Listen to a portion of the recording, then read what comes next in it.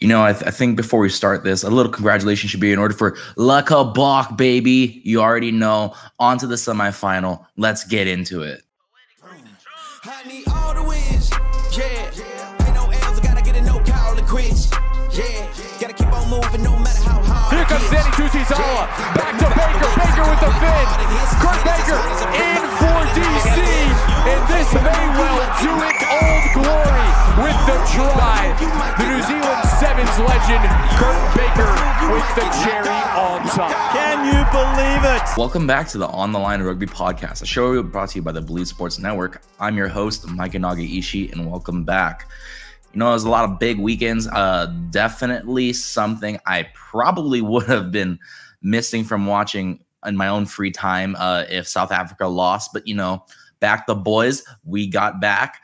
Uh, a little definitely sad for Ireland and Fiji. We'll get into that a little bit, and definitely for Japan. But you know, things happen. It's World Cup cycle. I think this is probably some of the best World Cup games and rugby, and just in general, I've seen in a probably since I started watching the game, really. And I'm really excited for the finals. Um, and I definitely think that the semis will be interesting. Could be on upset alert, but we'll get into some of those narratives here. Uh, I definitely think to start off that Ireland was robbed of a semifinal appearance versus Argentina just because of. Uh, I'm not sure what was going on. I think this goes into the, the broader narrative of officiating over the last weekend. Um, but whether you know you're a normal detractor of the officiating in rugby or not, um, I definitely think that there is a couple laws that were missed as a whole, looking holistically at the games, both for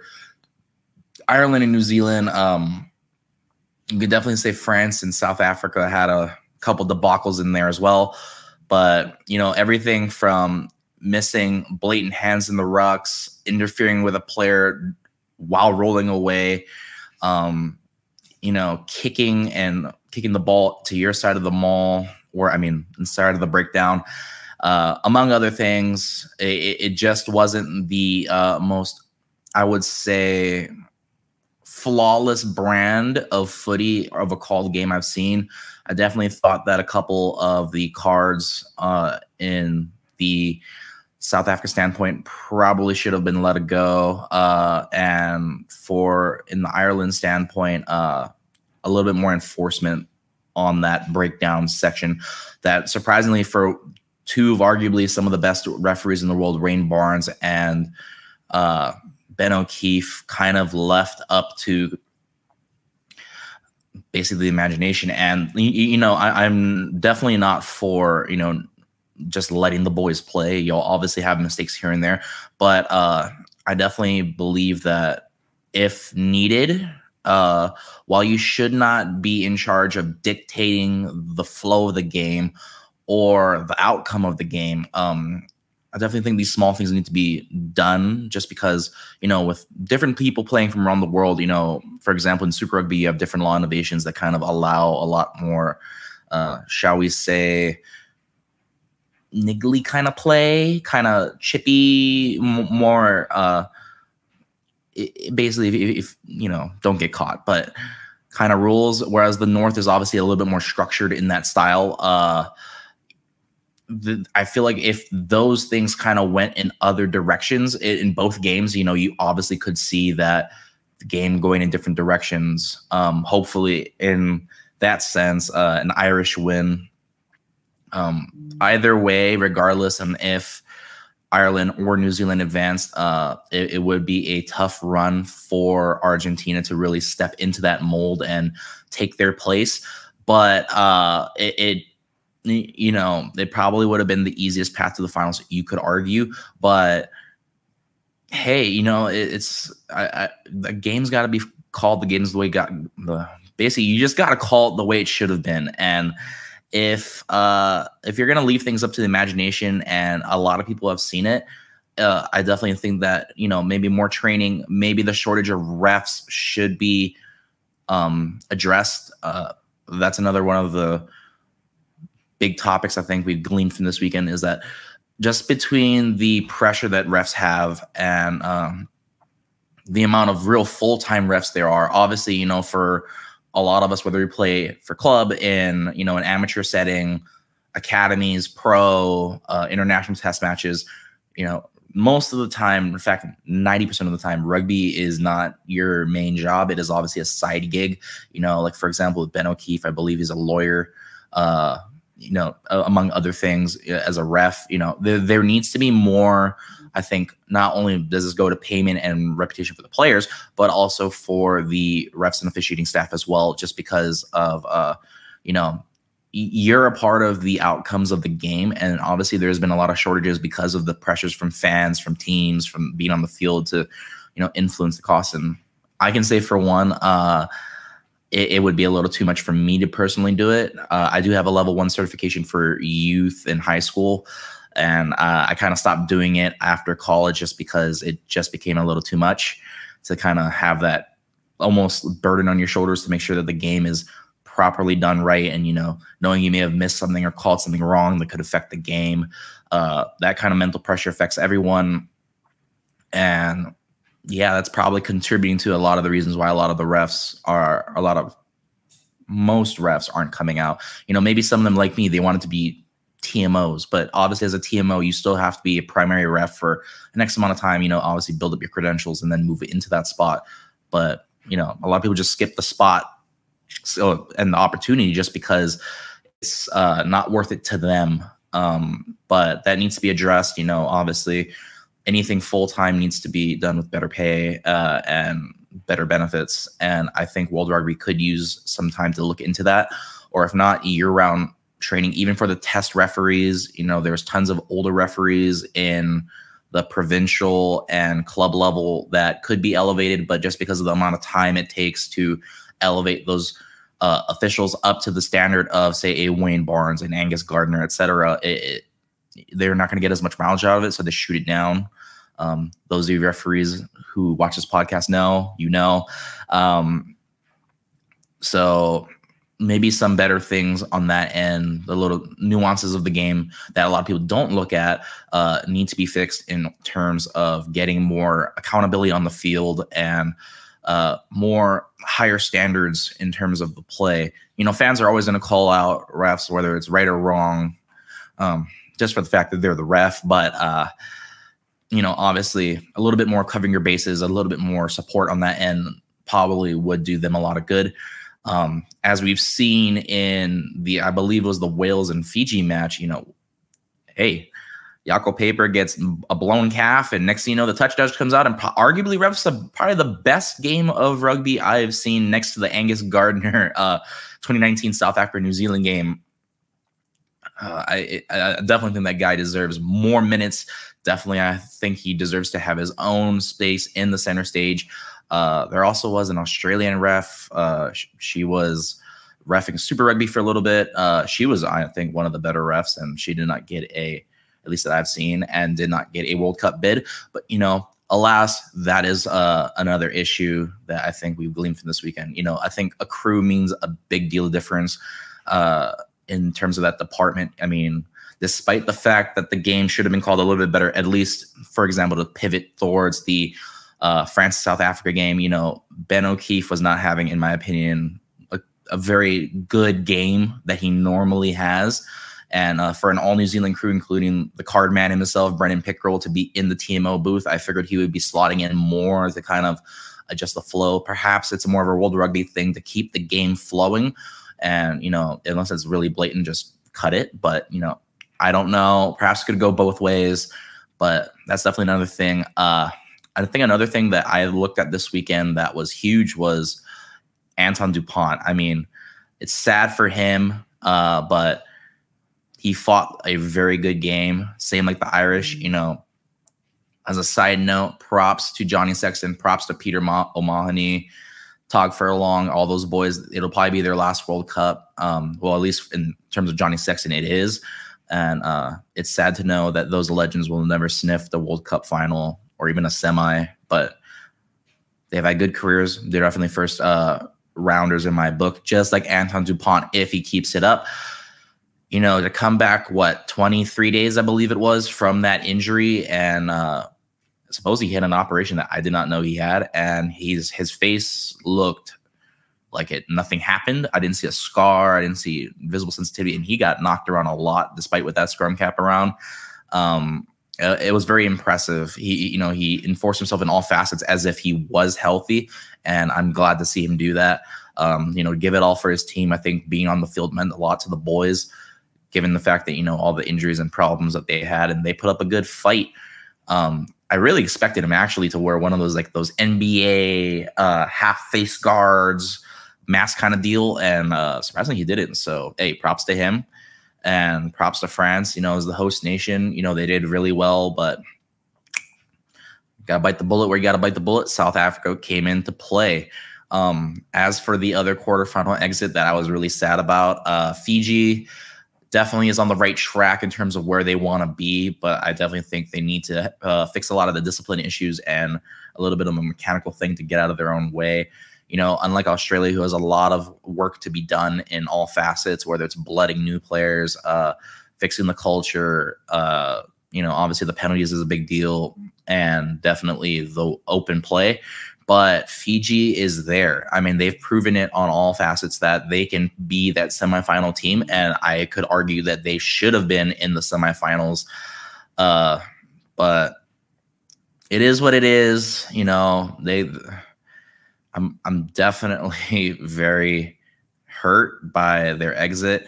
Um, they're one of my favorite teams in the world. You know, I think they're a lot of people's uh, second or third favorite team for obvious reasons, but it, I think it's just the contrast into where they are. I think, despite losing your head coach to the Blues, uh, they've put up and shut up. You know, they've blooded young players. They've gotten a lot of mileage out of the overseas rule and especially out of the Drua. You know, their surprising performance this year, uh, not surprising to me, but surprising to most, uh, has definitely fueled this advance and will continue to do so moving forward. I hope to see them in the semifinals next year. I believe they have it in them. They just need to get a couple things down and they'll be fine.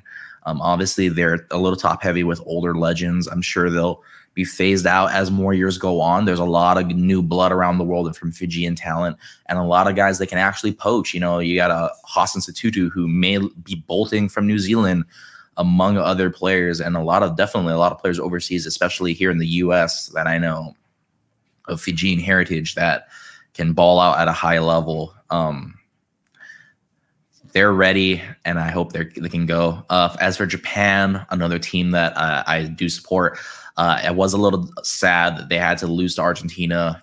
You know, they had moments, but I just don't think they were the same team from 2019. You know, I don't know whether it was Jamie Joseph's departure that he just kind of took his foot off the gas or whatever it may be. But Japan just didn't look with that same vigor, that same fury that I thought that they would come into the World Cup with. You know, obviously that team flows, as I've said before, through Kazuki Himeno's form, through Ryoto Nakamura and Ryohei Yamanaka and Kotaro Matsushima, and you know, all of them would have off games in the pools and the pre-stage matches. And some of them were great. You know, it, it all just didn't flow together. You know, I think they used a lot more foreign influence than I thought. Uh, and they do need to go back to leaning more on that, you know, Nippon heritage that they have, that hardworking ethic that they bring to the table and that work rate. And I think with Eddie Jones coming to the table, um, come on, guys. I, I, think it's undeniable at this rate. You know, Eddie Jones probably will actually, nah, he will uh, resign from the Wallabies and go to Japan. Unblamingly so for all of you super rugby pundits out there. It is not, okay, look, it is not his fault, I guess, in, in a way. He's building for the culture. A lot of people on YouTube that I watch had tended to cite that he kind of helped uh, create and maintain with not a lot of difficulty the very uh mm, miscreant, I guess, delinquent mentality that Australia has had over the last years from you know the Michael Cheika years to kind of Dave Rennie when it kind of blown out of proportions with Darcy Swain and etc. Uh, you know, articles out there. Need I say less? But they uh, there's a lot more problems in Australia than just the Wallabies. Um, Rugby Australia in general is facing the death of their program, and I'm sure everything f- from the top down is just as messed up. Uh, if you look at Eddie Jones, you know, he really just wanted to blood the new players for the future. And I think that was the right thing to do. Uh, they were never going to be in a place, I think, to really get out of the quarterfinals, despite what most people may have thought. I thought they would have had a quarterfinal exit. I thought that was the ceiling that they had. But, you know, such as it is, uh, they didn't show up to play. A lot of players look broken. I think a lot of uh, criticism has been dealt on that that I really don't have to gloss over again. But um, I think it was the right thing to do. I think they know that the process is there, and for him to leave, well, a lot of people would say is, is a, it's a slap in the face, and you know it kind of is. But obviously, why would you want to be in the most negative media market where the league is arguably dying? You have to actual league, you know, the NRL and to the AFL and cricket, and you know, you players are not gravitating towards that. You know, you're not getting the same quality of players from the provincial level. Everything down the line is just being taken down around you. I, I, I don't blame him for leaving. Uh, this is way more stressful than I probably would have thought uh, from his England journey coming over. You know, I thought his homecoming would have been a lot better uh, received, but you know, such is life. Australia is going to be Australia, and uh, I think it's time to welcome Eddie back to Japan. I'm sure he'll turn it around again, put them back on the right track again, and get them into that quarterfinal, hopefully semifinal in the next World Cup contention. Please. Please bring back the Brave Blossoms. They are not tier two, they are tier one. And by the way, they are going to crush the, uh, well, what is it going to be? Probably Five Nations Cup when they come out with it. I, I I, am sure it'll be in a couple years, but I know it's been in the talks that for all of you who don't know, uh, it's going to be the Rugby Championship is going to be elevated to have hopefully Samoa and Tonga.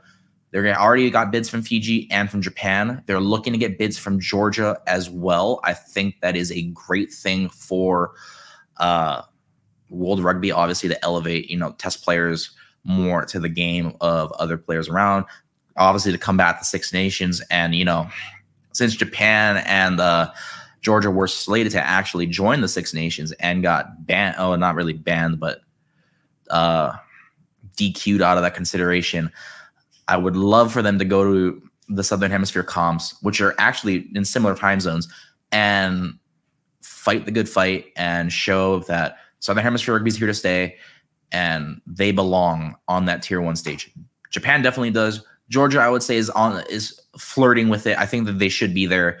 Obviously, you know, their scrum is elite, but need I say less? Um, but yeah, those are some of the big things I gleaned from this weekend. Uh, as for the semi on look, you know, I've said it once, I'll say it again. All Blacks have definitely have the easiest path to a final of any team. Well, that whole pool stage, I probably would say would have the easiest path to the final. Uh, regardless on who entered from the Ireland and New Zealand side, I definitely think that Japan would have put up a bitter fight versus both teams to get there. I think probably Ireland would have blown them out. New Zealand probably would have kept it close. Hopefully, Japan would have won in that stage. But that's just me pandering to my own uh, head canon. But uh, Argentina obviously is no slouch. You know, they've beaten the All Blacks many a time. But uh, I, I don't believe that they have the juice to really push it further than maybe five point loss, bonus point loss. They deserve it. They uh they've pushed that you know that they belong on the world stage at a high level and you know they're to have to obviously you know celebrate the commendation and the advancement but they're in for a rough road especially if the all blacks are to bring out who i think they're to bring out at 9 and 10 i hope it's cam roigard i hope it's Damian mckenzie i'm tired of richie mo'unga and i'm tired of watching aaron smith uh, we all know who the future is. Roll them out. You know, this is, I'm not going to say a tune up game for them as a not so all black fan, but we all know they have the better team on paper, on the pitch. As long as they put it together, should be pretty, you know, cross T's, not your eyes, basically. Um, but they, yeah, they, Argentina and the Pumas have a long road. Uh, as for England, they will probably get smashed by South Africa. I hope so. I, you know, a lot of people were saying that oh, uh, South Africa doesn't deserve to be there, and despite just being a Boks supporter, and I know that kind of can cloud judgments here and there, but uh, you know, I think if you look at it objectively, outside of their 10, they really have no problems. They were just as good in the forward pack as they have ever been, despite their injuries. In uh, set pieces, nothing to be understated with them. Their backlines, I think, have been elevated beyond what they were in 2019 with, you know, Canan Moodie, with Kurt-Lee Arendse, with the inclusion of Andre Esterhuizen, and uh, Cobus Reinach is playing out of his mind right now to the point where Faf de Klerk is being on the bench. All they have to do is fix Manie Libbok's kicking, man. That's all they have to do, and they're back. England, on the other hand, is still, you know, trying to right the ship. I'm not even sure if Steve Borthwick deserved the job in in any fashion. You know, I'm not saying he's not a great coach. You know, watching his Leicester team blow out most of the teams in the Premiership, including my Sale Sharks, has proven that he's a good coach. But uh, in the international level, over the since Eddie's left, I, I haven't seen what I thought I would see from that. Oh, he's the dramatic changer for England, and it's not. It's in more turmoil than ever. And you could argue that Wales was in a worse spot when Gatland came in, and Gatland obviously turned it around back to his old roots in a much faster fashion. Uh, I think that just shows the quality of coaching and the support that he has.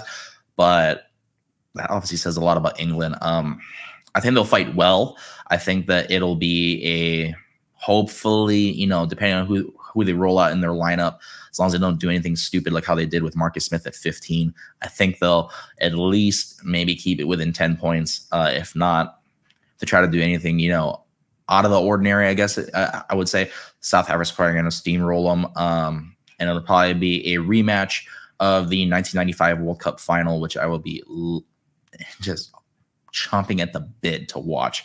You know, um, obviously we've had a lot of tragedies in the South African space from a lot of the 1995 players.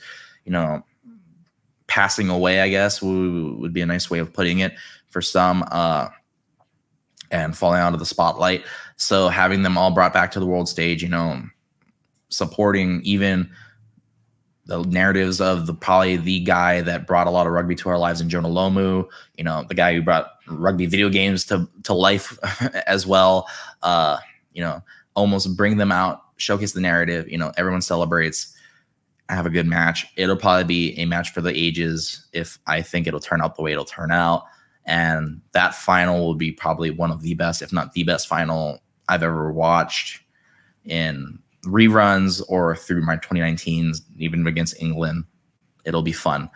Um, in terms of other news, obviously you have uh, some stuff domestically over here in the United States. I think the MLR is taking a lot of big steps to um, kind of copy the NBA, the MLS, and the WNBA in terms of when they hire um, or bring in new players, they're going to um, put them in ownership stake and stock in local businesses to kind of keep them, you know, ingrained in the franchise and keep them almost to bring more players like them over to America to grow the game. Um, I've said it once. I'll say it. I'll say it again. You know, the USA team is a tier three nation. It should be tier four, in my personal opinion. That which doesn't even exist, but it should be there. They are terrible. They have no identity. Scott Lawrence is out in his own world, uh, and unless you can get a concrete identity, not only from the grassroots and on up, you're not going to really have a great path towards international greatness like you think, no matter who you put out on the pitch. And I think a lot of teams in this World Cup have shown that. But for example, uh, my Hounds have definitely taken an influx of players from Ireland and from just Europe in general. You know, they just brought over uh, wing Dave Kearney. You know, I'm surprised. I watch a lot of Ireland games. I know Rob Kearney. I did not know uh, his brother played, let alone was pretty good. Watching his highlights, Dave is an exceptional player. Uh, a lot of them were a little older in the last 10 years, but um, I think what Dave can bring uh, as a co-owner, I guess, and they haven't really discussed what his stake is in, in the Hounds program, but he brings in a lot of IQ, obviously, you know, from his Leinster and Ireland days uh, of just being around the ball. His he's effective at the high ball. I think that's one thing that um, came out to me on film, and his ability to kind of play the sideline to his advantage. I think will help guys like Julian Dominguez. Will help guys like uh, their new draft. They you, you can't go around that. You know, you have to use the sideline as your friend, and he he's one for that. He definitely has another thing that I think they desperately need is that internal cutback, and his step for that internal cutback is very nice. Um, he'll bring in a lot of that definitely into the Hounds culture. I do not foresee him being a starting uh, stalwart, I guess, at the spot. Um, I definitely think Dylan Denenberg will put himself forward. Obviously, Julian Dominguez is there. They have a lot of big boys on that, uh, big brands definitely on that back three that I think will serve him. I think he's more brought in as a player coach and as a way to hopefully grow the game domestically with added funds for the Hounds to do so from the academy system on up. But as for their forward pack, they just added uh is probably the best signing I've seen them do this off season is adding the Georgian prop fresh off the World Cup. Pardon if I butcher the name, Zurabi Zhvania from Georgia. He's 29 years old. He comes from Georgia. He's played in the Pro D. He's played in the top 14. Man, I've never heard of this guy, but this guy is an absolute freak of nature. In his thighs is probably the width of my body, if not more. He brings in the power of more than the U.S. power grid. Uh, when it comes to rushing with the ball, he keeps his legs churning. His fens are Derrick Henry esque. I've never seen people fly more off his hands in rugby than that. Uh, obviously, the, again, another person to put uh, Julian Dominguez in on notice in that department, but he has a uh, a lot of his older highlights were from the last five years uh, or two years ago. But man, I, I would say even from the last two years ago, Zavana brings in that kind of like quick burst of just boomfa I have ever seen. He can catch a ball from a standstill and then flow like a back into his second gear, break the line, and have no one catch him. He's not even, I would say, like a speedster at prop. I, have just never seen it that quick. He, he's Angus Bell level. If Angus Bell had short speed to to basically top off that his long speed because his second gear and transition into it is quick. And if you do not catch him, he is gone. His I, he even has offloading. Like I saw enough Sonny Bills in the highlight reel to probably make a whole 10 minute compilation. It, it, it is beautiful the way he can pass the ball from either end and pivot. Like he just knows where his guy is and it's going to happen. I think he's going to be big for the scrum. Obviously, Georgian's scrum is, I've said it once, I'll say it again, is probably what second or third best in the world. It definitely is in South Africa, but it's up there. Um, he'll definitely bring a lot to the table, obviously, in terms of experience, and because he has a lot more tread left on the tires, you know, at 29 years old to bring to the MLR and stick around for at least, you know, hopefully the next five to six years.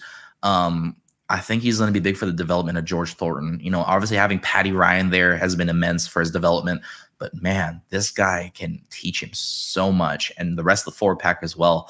And I can't wait to see what he brings to the table. The MLR is going to be big this year. I hope, you know, despite scandals aside, I, I definitely think that uh, they're in good hands, at least team wise, moving forward. If they, for example, with the Hounds, Toronto, and all these other wayward lost franchises can come back into the fray and give them an American fan base what they want, which is hardcore rugby. It doesn't have to be, you know, what Super Rugby is, but just get it close, grow the game, advance it. Everyone will be happy.